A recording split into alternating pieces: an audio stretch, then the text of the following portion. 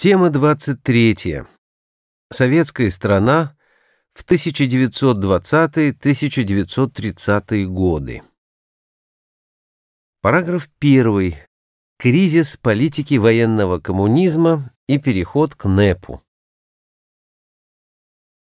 В конце 1920-го, начале 1921 года политика военного коммунизма достигла своей высшей точки – Вводится бесплатный проезд на трамвае, пользование телефоном, коммунальными услугами и так далее. Экономический кризис приобрел угрожающие размеры. По стране с новой силой прокатилась волна крестьянских восстаний. В Западной Сибири, на Северном Кавказе, Украине и так далее. Наиболее крупным крестьянским выступлением стал мятеж в Тамбовской и ряде прилегающих к ней губерний возглавил выступление сэр Антонов. Командующему войсками в губернии Тухачевскому в апреле 1921 года была поставлена задача ликвидировать мятеж в месячный срок. Общая численность частей РКК в этом районе превышала 100 тысяч человек. Стремительно росло и количество сторонников Антонова. Повстанческая армия насчитывала до 50 тысяч бойцов. Жесткими мерами, Тухачевским в частности, был подписан приказ о применении ядовитых газов для выкуривания бандитов из лесов. Восстание было подавлено. Христианское восстание на Тамбовщине, длившееся год, с лета 1920 до лета 1921 года и унесшее не менее 50 тысяч жизней с обеих сторон – ярче других продемонстрировала банкротство политики военного коммунизма. В марте 1921 года восстали моряки Кронштадта. Они создали Временный революционный комитет, ВРК, который возглавил Петриченко. Власть в городе без единого выстрела перешла в руки Ревкома части РКК под командованием Тухачевского по зыбкому весеннему льду дважды штурмовали Кронштадт. После взятия крепости была учинена расправа с гарнизоном. К лету 1921 года к высшей мере наказания оказалось приговорено более 2100 человек. Около 6,5 тысяч были осуждены на различные сроки тюремного заключения. Властям не удалось найти каких-либо данных об участии в этих событиях международного империализма. Тем не менее, существовавшая долгое время официальная версия интерпретировала восстание таким образом, будто главными его организаторами были меньшевики, эсеры, царские генералы и разведки иностранных держав.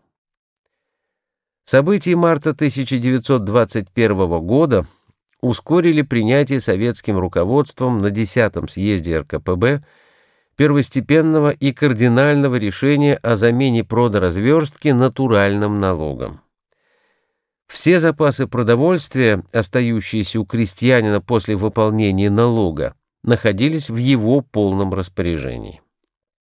Данное решение способствовало поощрению личной инициативы крестьянства было провозглашено начало новой экономической политики – НЭП. Основу НЭПа составляла смычка между крестьянством и пролетариатом, с помощью которой удалось отстоять советскую власть в годы гражданской войны. Период НЭПа не был временем бескрайней свободы частно-капиталистического предпринимательства, Правительство считало своей задачей сохранение созданного за послереволюционные годы государственного сектора хозяйствования, национализированной промышленности. Государственная собственность, участвуя в рыночном состязании, должна была оставаться незыблемой и ограждаться от всевозможных посягательств денационализации. Десятый съезд РКПБ принял также резолюцию о единстве партии, в которой говорилось о вреде и недопустимости какой бы то ни было фракционности. Съезд предписывал распустить все образовавшиеся на той или иной платформе группы. Неисполнение этого постановления влекло за собой немедленное исключение из партии. Постановлением Совета труда и обороны, СТО, от 12 августа 1921 года. Наиболее крупные, технически оборудованные, удобно географически расположенные, а также обеспеченные сырьем, материалами, рабочей силой предприятия объединялись в тресты. До конца 1920-х годов именно они оставались основной производственной единицей в отечественной промышленности. Тресты осуществляли планирование, распределение средств, расстановку кадров, проводили торговые операции как между самими трестами, так и на свободном рынке. 90% всех национализированных предприятий, не сданных в аренду, вошли в состав различных трестов. Тяжелое материальное положение рабочих к моменту окончания гражданской войны заставило советское руководство сосредоточить внимание на вопросах заработной платы и формах материального поощрения была изменена премиальная система, увеличивались натуральные выдачи за более высокопроизводительный труд. С лета 1921 года устанавливалась непосредственная зависимость между размером оплаты труда и качеством работы производственных коллективов. Вновь начала широко использоваться система сдельной оплаты труда. От пайкового обеспечения – государство постепенно возвращалось к заработной плате, в которой денежная часть повышалась, а натуральная уменьшалась. Декрет СНК от 11 октября 1922 года предписывал выпустить в обращении новые денежные знаки «золотой червонец». Финансовая система приобретала определенную устойчивость. С переходом к НЭПу получила импульс развития частно-капиталистического предпринимательства.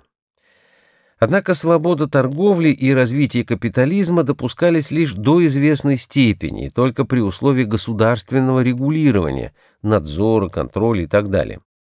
В целях недопущения концентрации частного капитала государство активно использовало налоги. Большая доля накоплений изымалась финансовыми органами. Частники предпочитали использовать в своей деятельности арендную форму взаимоотношений с государством. Аренда носила преимущественно краткосрочный характер. Договоры заключались на 3, 5, 5, 10 лет.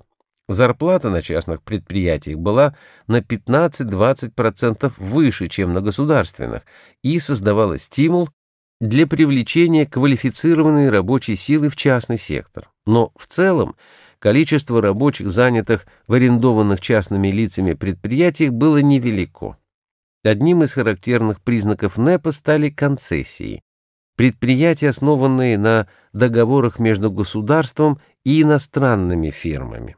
Однако в нашей стране концессии никогда не считались главным или решающим фактором хозяйственного развития и роста. Концессии контролировались советским государством, которое определяло их сроки и регулировало их деятельность в рамках общего трудового законодательства. К концу восстановительного периода, середина 1920-х годов, и с началом реконструкции народного хозяйства 1925-1927 годы, капиталистические элементы стали вытесняться из экономики страны. Параграф 2. От Советской России к Союзу СССР. В первые месяцы своего существования Советская Россия не была федерацией. Она была единым многонациональным государством и включала территории бывшей Российской империи. Национально-государственное развитие Советской России шло по линии преобразования возникавших автономных областей в автономные республики и автономных республик в союзные. Одновременно происходило сближение РСФСР с другими советскими республиками. Сотрудничество развивалось по широкому кругу вопросов, и вскоре начался процесс слияния госаппарата республик вооруженные силы объединялись в единую армию. Управление промышленностью, транспортом, связью и внешней торговлей становилось централизованным. Но поскольку договоры между Советской Россией и другими советскими республиками не предусматривали подчинение высших органов управления в республиках аналогичным органам РСФСР, это порождало неопределенность, конфликты и трения. Тем не менее, в 1921-1922 годах между республиками Украинская ССР возникла 12 декабря 1917 года, а Белорусская ССР 1 января 1919 года, установились прочные федеративные отношения, развивавшие принципы договорной федерации периода гражданской войны. Вопросы совершенствования отношений в республиках были подняты весной 1922 года. Единого мнения относительно принципов создания союзного государства не существовало. Среди многих предложений выделялись два – включить другие советские республики в состав РСФСР на правах автономий, проект Сталина, и создать Федерацию равноправных республик. Ленин, не участвовавший в обсуждении проекта, после ознакомления с представленными ему материалами, отверг идею автономизации и высказался за образование Союза республик. Наиболее приемлемой формой государственного устройства многонациональной страны он считал Советскую социалистическую федерацию. В результате драматической борьбы внутри политического руководства возобладала точка зрения Ленина. 26 декабря 1922 года 10-й Всероссийский съезд Советов одобрил идею создания Союза Советских Социалистических Республик.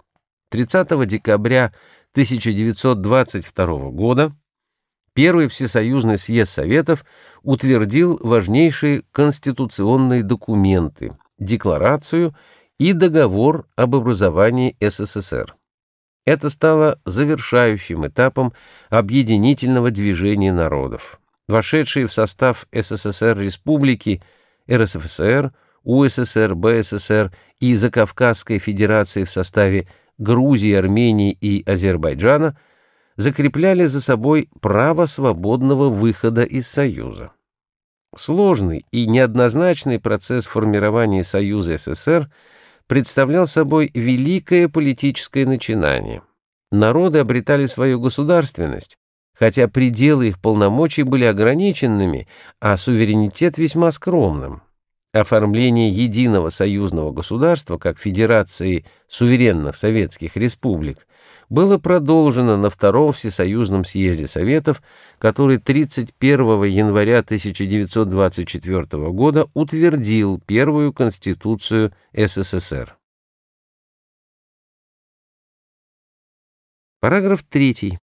Внутрипартийная борьба 1920-х годов и истоки сталинизма. Период 1922-1927 годов стал временем, когда в ходе ожесточенной идейно-политической борьбы внутри партии Сталину удалось устранить с политической арены все противостоящие ему силы. Этому способствовала болезнь Ленина. После 11 съезда РКПБ март-апрель 1922 года в работе которого Ленин по состоянию здоровья принимал эпизодическое участие, присутствуя лишь на четырех заседаниях из 12, Сталин был избран генеральным секретарем партии. В узком кругу, возражая против этого назначения, Ленин произнес знаменитую фразу «Не советую, этот повар будет готовить только острые блюда».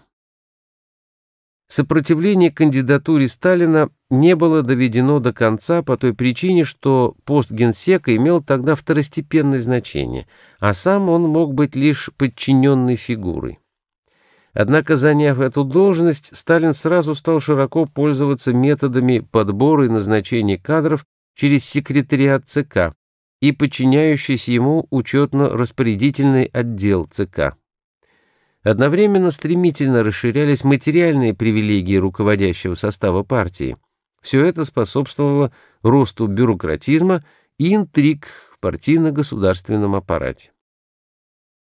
К 1923 году в партийном руководстве сложилось руководящее ядро – тройка – Сталин, Зиновьев, Каменев.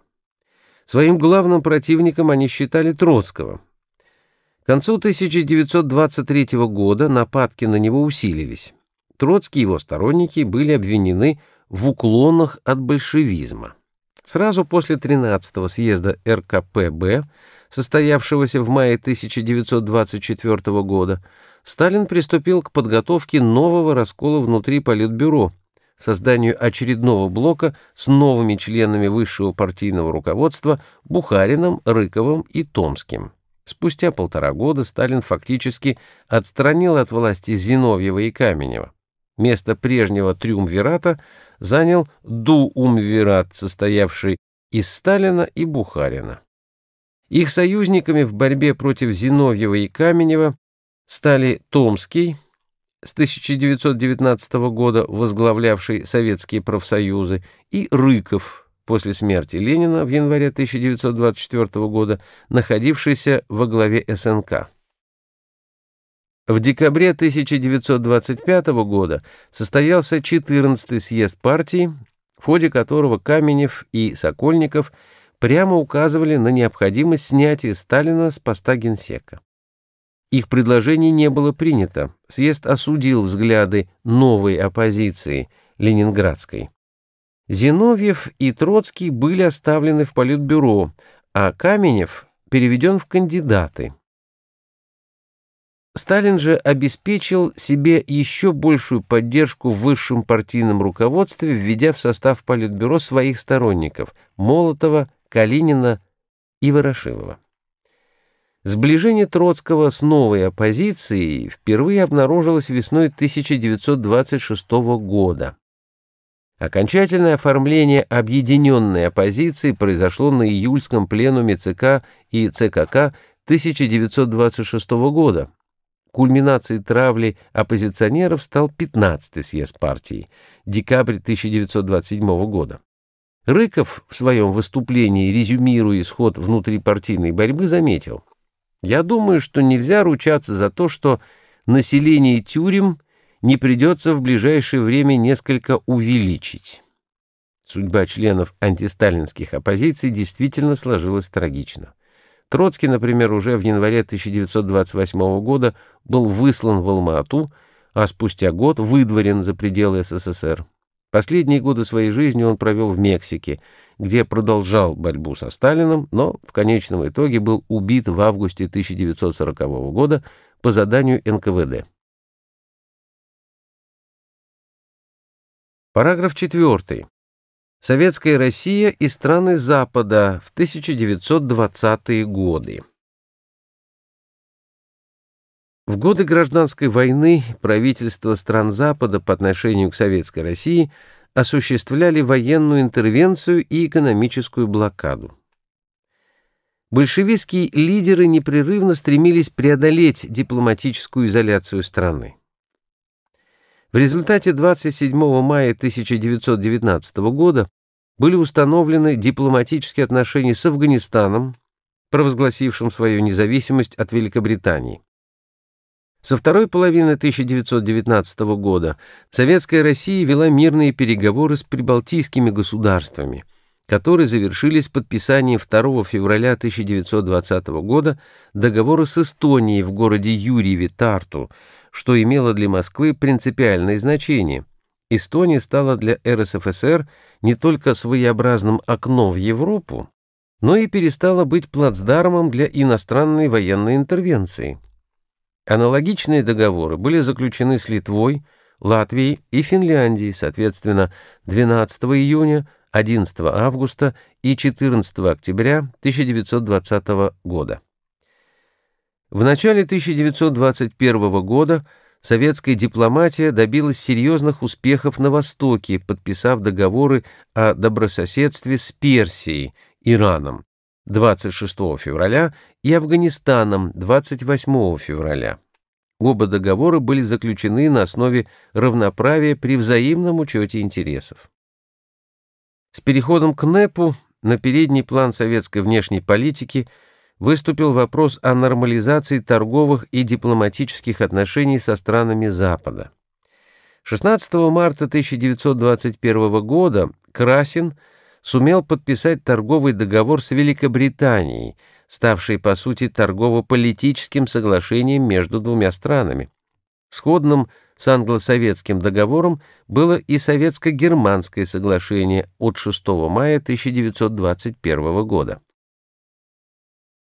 10 апреля 1922 года в Генуе начала свою работу международная конференция.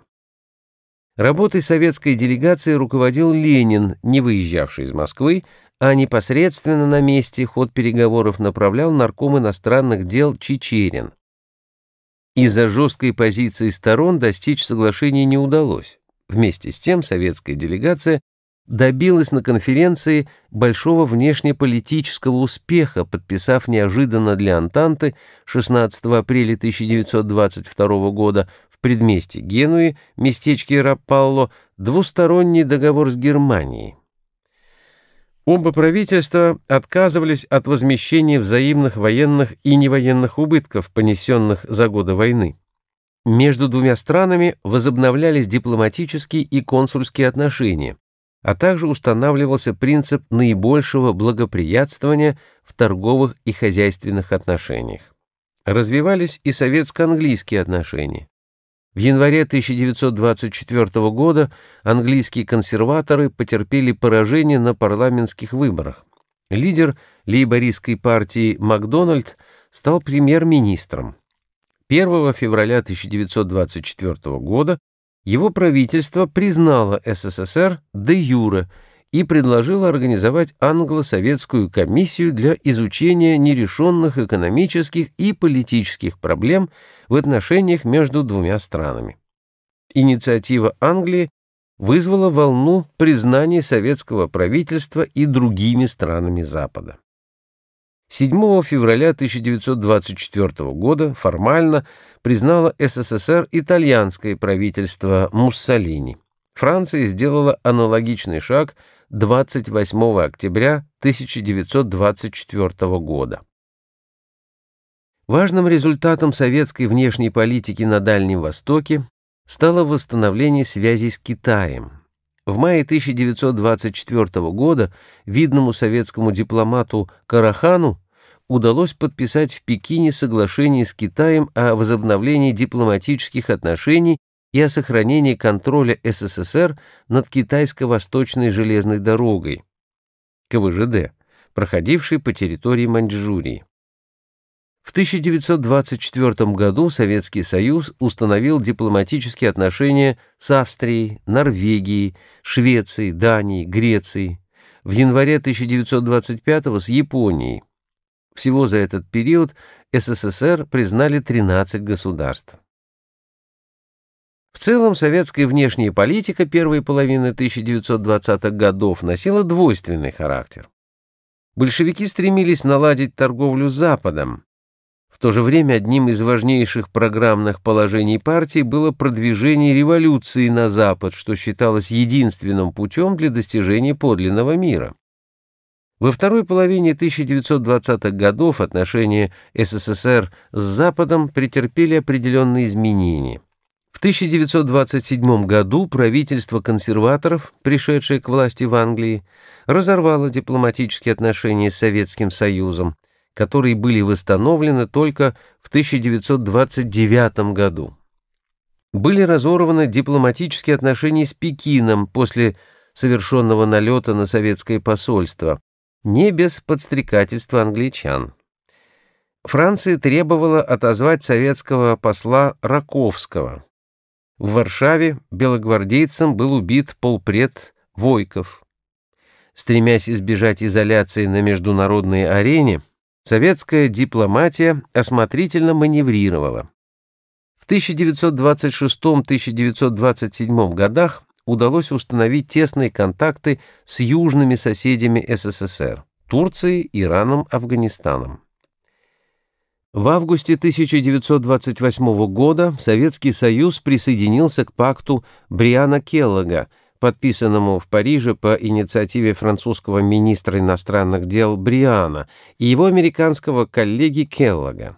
По этому договору 15 ведущих держав мира брали на себя обязательство отказаться от войны как орудия национальной политики и урегулировать возникающие конфликты с помощью мирных средств. Поэтому договору 15 ведущих держав мира брали на себя обязательство отказаться от войны как орудие национальной политики и урегулировать возникающие конфликты с помощью мирных средств. В значительной степени успехи советской внешней политики 1920-х годов были связаны с именами блестящих дипломатов, среди которых выделялись нарком иностранных дел – 1918-1930 годах Чичерин, Красин, Литвинов, Йоффе, Карахан. Для выполнения разнообразных миссий за границу направлялись и некоторые политические деятели, Раковский, Кристинский и другие. Советское правительство, занятое проблемами восстановления экономики страны, проводило в эти годы осторожную и миролюбивую политику, неоднократно выступая с инициативами первоначально сокращение вооружений, а с конца 1927 года и всеобщего полного разоружения. Параграф 5. Социально-экономические преобразования в ходе революции сверху.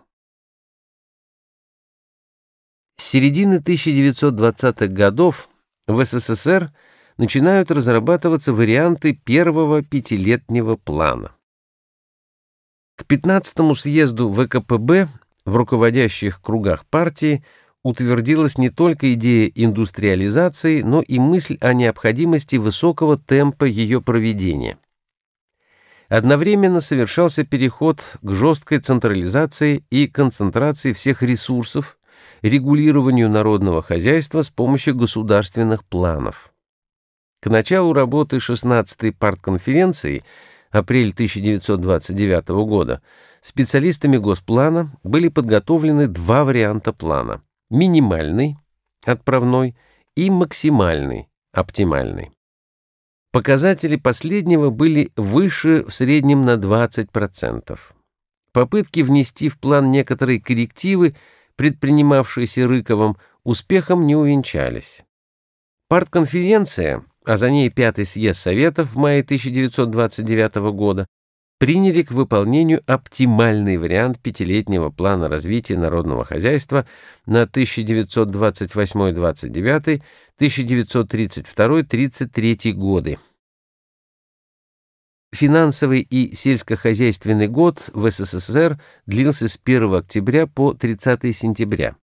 С 1931 года планово-финансовые расчеты стали приурочиваться к астрономическому году с 1 января по 31 декабря.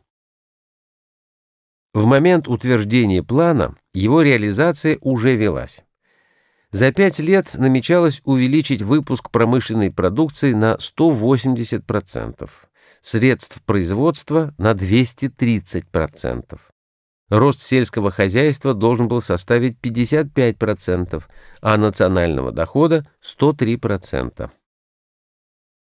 Принятый план был исключительно напряженным. Он предусматривал преодоление множества трудностей. Тем не менее, при благоприятном стечении обстоятельств план был реальным для выполнения. Однако вскоре плановые показатели начали искусственно завышаться, что привело к колоссальным деформациям не только в социально-экономической, но и в политической сфере. Таким образом, 1929 год стал годом великого перелома. К этому времени НЭП оказался фактически отменен, а в руководстве страны в отношении дальнейших путей развития государства возобладала точка зрения Сталина.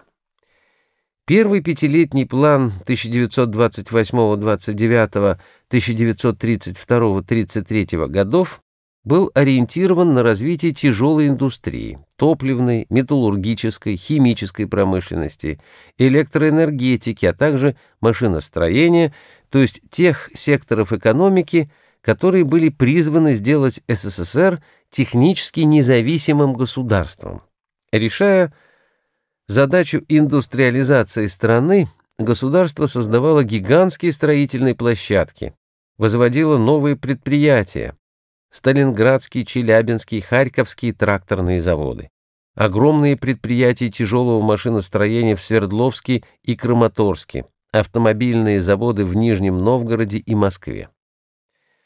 Одним из результатов выбранного курса стало то, что к 1931 году в СССР была полностью ликвидирована безработица. Лозунг «пятилетку в четыре года» стал одним из самых популярных в стране. Замечание Сталина, что пятилетка может быть выполнена в три и даже в два с половиной года, означало форсирование темпов индустриализации. В конце 1932 года первая пятилетка была объявлена выполненной за 4 года и 3 месяца. Вместе с тем анализ основных показателей промышленности свидетельствовал о том, что к концу пятилетки достичь запланированных цифр не удалось. Вместо 17 миллионов тонн чугуна было выплавлено только около 6 миллионов тонн выработка электроэнергии составила 13,5 миллиардов киловатт-часов вместо 22 миллиардов киловатт-часов по плану. Вторая пятилетка 1933-1937 год проходила под лозунгом «Кадры, овладевшие техникой, решают все». В этих целях создавалась сеть фабрично-заводского обучения, ФЗО, фабрично-заводского ученичества, ФЗУ, бригадного обучения. Только ФЗУ за годы второй пятилетки дали стране миллион четыреста тысяч квалифицированных рабочих, втрое больше, чем в первой пятилетке. Энтузиазм рабочих в освоении новой техники и технологий проявился в стахановском движении. Зачинателем его стал Алексей Стаханов, который в ночь с 30 на 31 августа 1935 года на Донецкой шахте «Центральная Ирмина», изменив организацию труда, добыл за смену 102 тонны угля вместо 7 тонн по плану. Трудовой подвиг Стаханова встретил отклик по всей стране и вылился в массовое движение, которое охватило все отрасли промышленности, транспорт, строительство, сельское хозяйство. Трудовые подвиги широко пропагандировались. Страну облетели имена родоначальников движения Стаханова, Изотова, Бусыгина и других. Во многом благодаря стахановскому движению итоги второй пятилетки оказались несколько лучшими, чем первый, но говорить о ее досрочном выполнении за 4 года и 4 месяца, как было объявлено, не приходилось.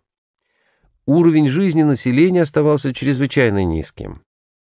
К началу 1929 года во всех городах СССР была введена карточная система, отмененная лишь в 1935 году. Место торговли занимала отоваривание по так называемым заборным документам и ордерам через закрытые распределители, рабочие кооперативы и отделы рабочего снабжения. Многочисленные перекосы в экономике, которые не могло выправить даже ударничество, подрывавшееся формализмом, показухой и вступавшие в противоречие с плановой экономикой, явственно обозначились уже на рубеже 20-30-х годов. Наряду с заявлениями Сталина о том, что враждебность империалистических государств нарастает и неизбежно приведет к войне, экономические проблемы подталкивали к поиску виновных в технических дефектах, авариях на шахтах и в других отраслях народного хозяйства. Под прикрытием публичных судебных процессов конца 20-х, начала 30-х годов Шахтинское дело 1928 года, процесс промпартии 1930 года, дело Союзного бюро ЦК меньшевиков 1931 года и другие, предпринимались попытки списать хозяйственные трудности СССР, диспропорции и сбои насчет буржуазного вредительства – и отвести тем самым критику от руководства партии и государства. Параграф 6. Насильственная коллективизация крестьянских хозяйств. В декабре 1927 года состоялся 15-й съезд ВКПБ, за которым в литературе на долгие годы закрепилось название «съезда коллективизации». В действительности на съезде речь шла о развитии всех форм кооперации. Ни сроков, ни тем более конкретных форм и способов кооперирования крестьянских хозяйств съезд не устанавливал. Теоретическим обоснованием форсирования коллективизации явилась статья Сталина «Год Великого Перелома», опубликованная 7 ноября 1929 года. После принятия 5 января 1930 года ЦК ВКПБ постановление о темпе коллективизации и мерах помощи государству колхозному строительству, уровень коллективизации стал стремительно расти. В начале января 1930 года в колхозах числилось свыше 20% крестьянских хозяйств. К началу марта свыше 50%. Форсированная коллективизация проводилась одновременно с раскулачиванием, невиданной по масштабу репрессивной кампании. В январе 1930 года Политбюро утвердило постановление о мероприятиях по ликвидации кулацких хозяйств в районах сплошной коллективизации. В ходе раскулачивания было ликвидировано свыше 1 миллиона крестьянских хозяйств или 4-6 миллионов человек. Главными последствиями насильного создания колхозов стали массовое недовольство и открытые протесты крестьян. С начала 1930 года за два с половиной месяца до середины марта было зарегистрировано более двух тысяч крестьянских выступлений. Смягчить ситуацию должна была статья Сталина «Головокружение от успехов», появившаяся в газете «Правда» 2 марта 1930 года. Вся ответственность за перегибы и искривления перекладывалась на местных работников, которые обвинялись в головотяпстве, самомнении и зазнайстве. Тем не менее, достигнутый 50% уровень коллективизации объявлялся успехом, его требовалось закреплять. 1932 год был объявлен годом завершения сплошной коллективизации. Осенью в колхозах значилось уже 62,4% крестьянских хозяйств. Таким образом, крупное коллективное сельское хозяйство стало одной из основ советской экономики и всего общественного строя.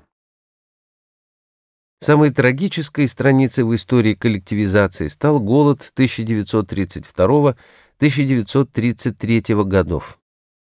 В целом урожаи этих лет были лишь немного ниже средних за много лет и сами по себе голодом не грозили. Но для закупки промышленного оборудования требовалась валюта, получить которую можно было только в обмен на хлеб. Хлебозаготовки 1931 года обрекли крестьян на голод. В результате на еще не вызревших полях появились парикмахеры – крестьяне, которые срезали ножницами колосья. Когда началась уборка, появились несуны. Зерно несли стаков в карманах и за пазухой. 7 августа 1932 года был принят закон об охране социалистической собственности, написанный собственноручно Сталином. Он вводил в качестве наказания за хищение колхозного и кооперативного имущества – высшую меру социальной защиты – расстрел с конфискацией всего имущества. Закон о пяти колосках – так называли его в деревне. Общая численность жертв голода 1932-1933 годов по объективным оценкам статистических данных историков и демографов составила более 5 миллионов человек. Завершение коллективизации пришлось на годы второй пятилетки. В 1937 году в стране насчитывалось 243,7 тысяч колхозов, объединявших 93% крестьянских хозяйств. К этому времени в СССР полностью сложился колхозный строй. Параграф 7. Политические процессы 1930-х годов.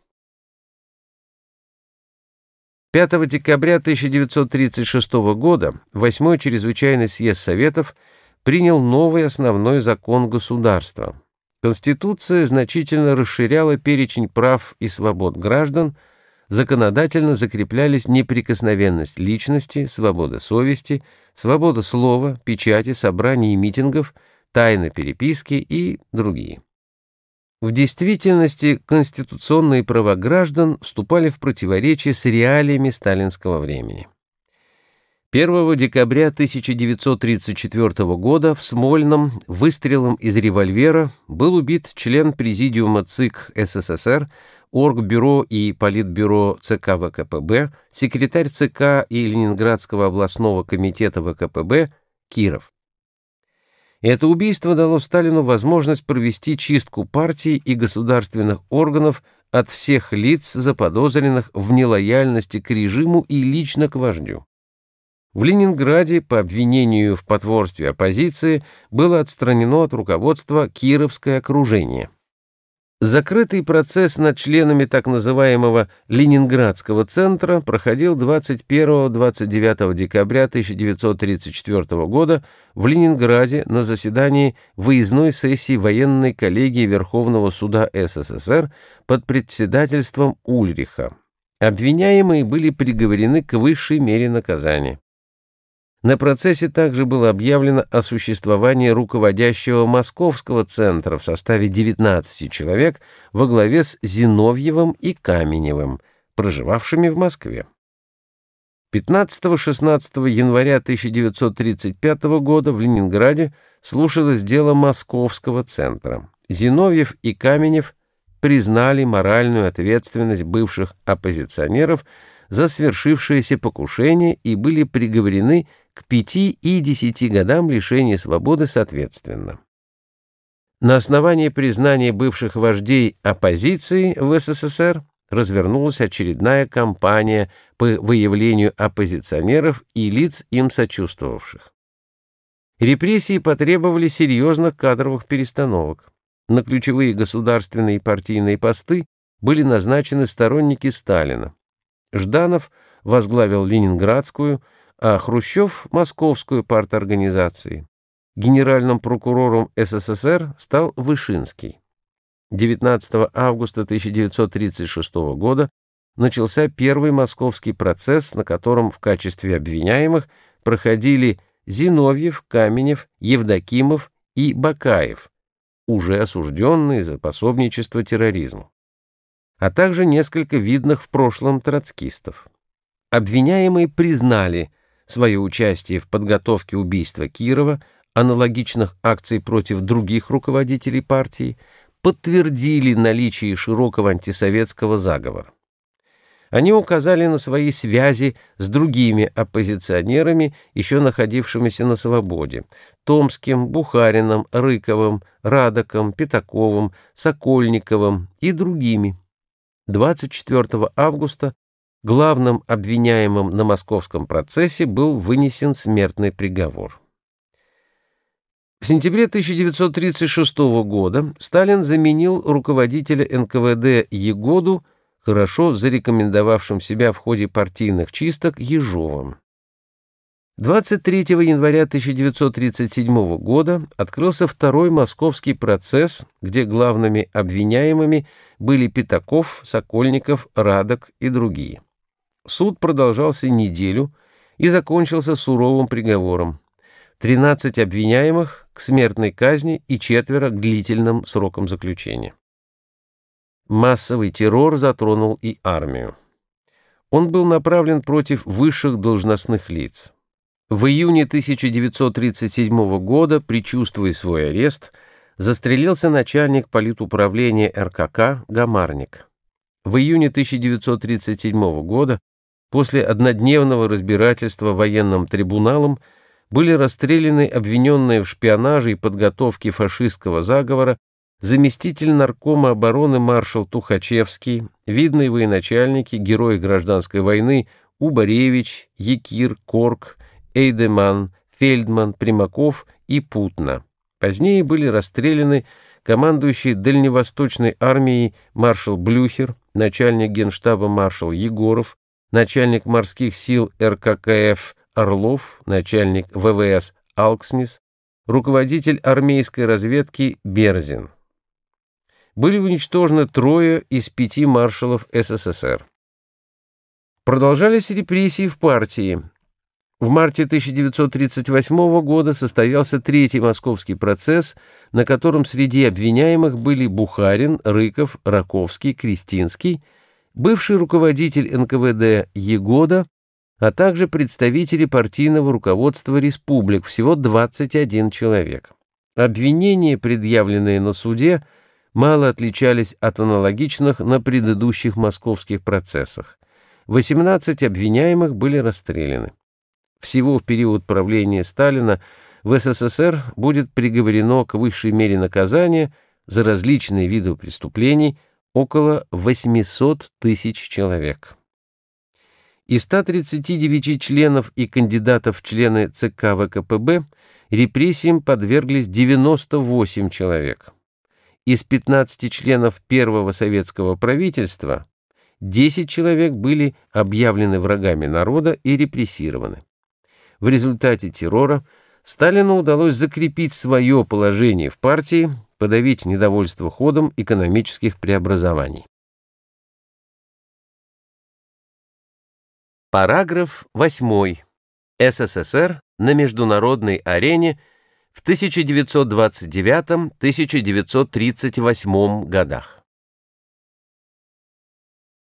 На рубеже 1920-1930-х годов начался пересмотр отношений между СССР и США. В Америке постепенно признали успехи СССР. К 1933 году, когда место президента Гувера занял Рузвельт, вопрос о дипломатическом признании СССР был предрешен.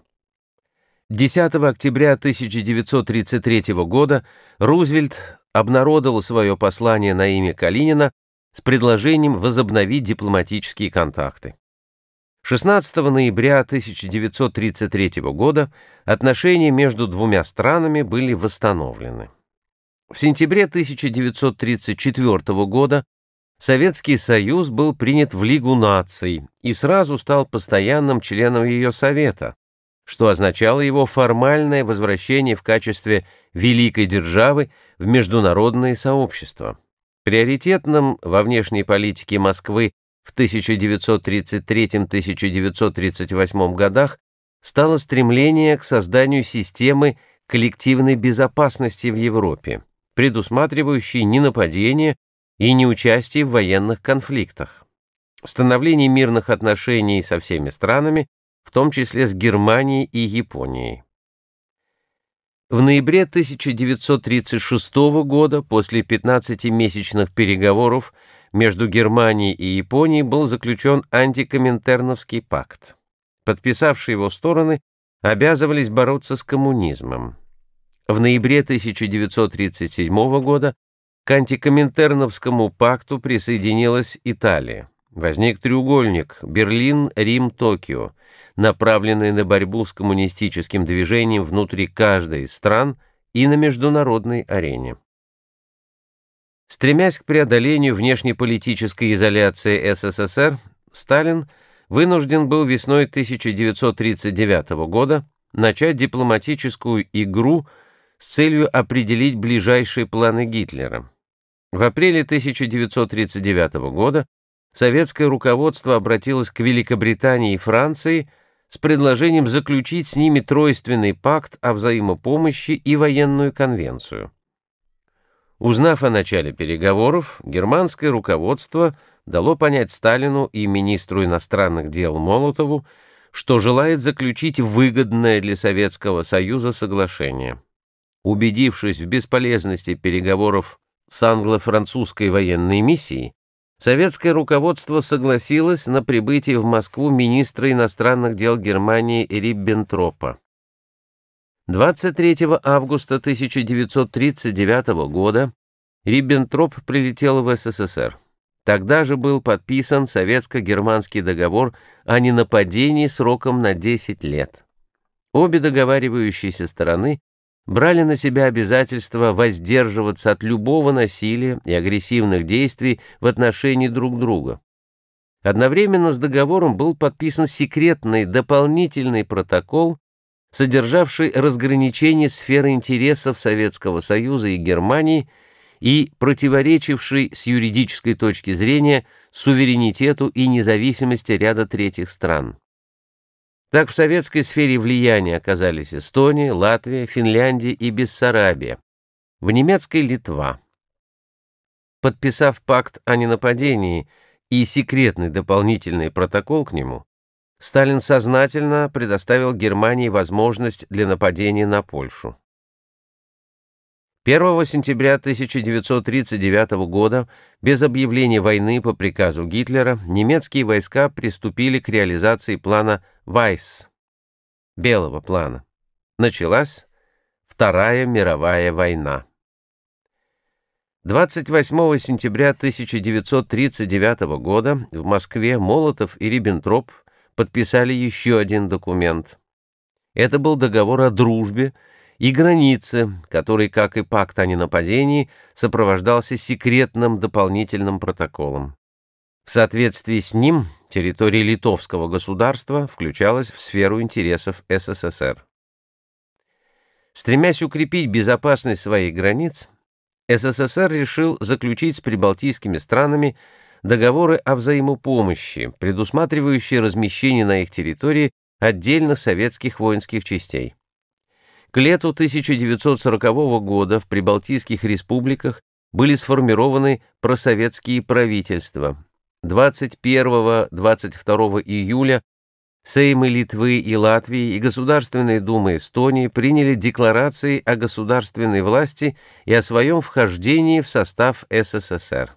3-6 августа 1940 года Верховный Совет СССР, заслушав заявление специально направленных в Москву полномочных представителей этих стран, принял законы о вступлении Латвии, Литвы и Эстонии в состав Союза СССР в качестве союзных республик. Пытаясь обезопасить Ленинград, советское руководство обратилось к Финляндии с предложением изменить границу на Карельском перешейке. Взамен Финляндии предлагались территории Карелии. Однако финская сторона ответила отказом. Методы дипломатии уступили место угрозам.